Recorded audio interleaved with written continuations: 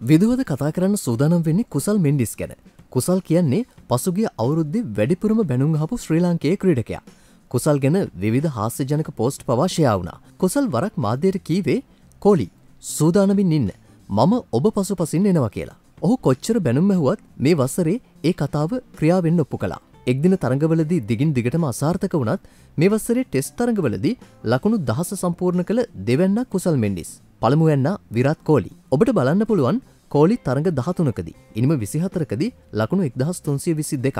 ශතක සහ අර්ධශතක පහබැගින් ඒට ඇතුළත්. එවිතරක් නෙවෙයි බින්දු දෙකුත් ඇතුළත්. කුසල් තරඟ දොළහකදී.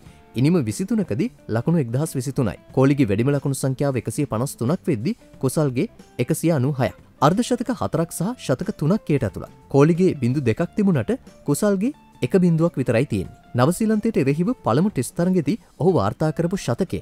එක්තරා සියල්ලටම ඉහලින් ඉන්න මාධ්‍යයක් වාර්තා කළේ යලට මහට ලකුණු අතරට එන කුසල් ශතකයක් වාර්තා කලා කියලා. වගකිවිතු මාධ්‍යවිදියට ක්‍රඩකයෙකුගේ දස්කමක් අවතක්සේරුවට ලක්කිරීම සුදුසු දෙයක් නෙවේ කියලයි විදුට නං හිතෙන්නේ. දක්ෂතා අගේ කිරීමත් වැරදි පෙන්වාදීමත් තුළින් තමයි ඕනෙම කෙනෙක් අභිප්‍රේරණය කරලා සාර්ථක කෙනෙක් කරන්න පුළුවන් වෙන්නේ. ජීවිතය තුළදී මිනිසුන්ට ඇදවැටීම් නැගිටීම් ඕන තරම් තියෙන්න්න පුළුවන්. එළබෙන නවසර ඉඳලා හරි ඇදවැටෙන තැන්වල මිනිස්සුන්ට ශක්තියක් වෙලා නැගිටින තැන්වලදී ඔවුන් දිරිමත් කරලා අපේ අඩුපාඩු හඳුනාගත්තොත් අපිට ජීවිත සාර්ථක කරගන්න පුළුවන් වෙයි. ඒ වගේම සමාජයක් විදියට රටක් විදිහට ඉස්සරහට යන්න පුළුවන් වෙයි. කෝලිව පහු කරන්න කුසල් මෙන්ඩිස්ට සුභපතන අතරේ ඇන්ජි චන්දි දිමුත් ඇතුළු අපේ සියලුම ක්‍රඩකයන්ට ශ්‍රී ලංකා නාමය ලෝකයේ ඉහලින් රඳවන්නට හැකිවේවා කියලා විදු සුභ පැතුම් එකතු කරනවා.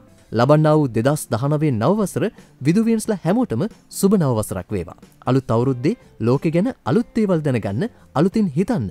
විදුව සබස්ක්‍රයිබ් කරලා විදුව එක්කම රැඳෙන්න්නත් අමතක කරන්න එපා.